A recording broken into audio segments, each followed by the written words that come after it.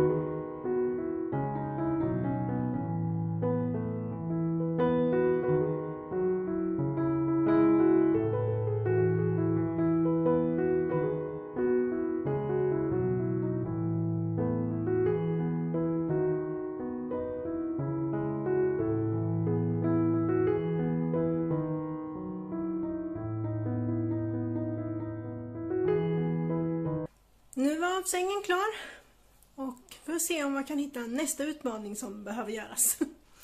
Det kommer nog inte bli så svårt. Nu är det dags för nästa utmaning. Så nu står vi här i hallen och ska göra ordning.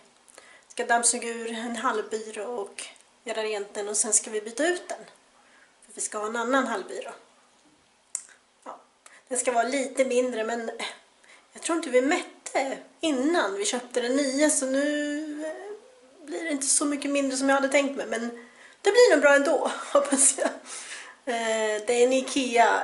Den kommer komma på mannens kanal så ni kan titta på sen. Jag ska visa vilken byrå den är, hur, hur den ser ut. Jag har, den är lite avplockad redan men den måste göras rent. Här är den som ska bort. Nu inte jag tittar i vad som är i här. Hoppas inte det är något. Det var inte så vanligt. Oh jösses.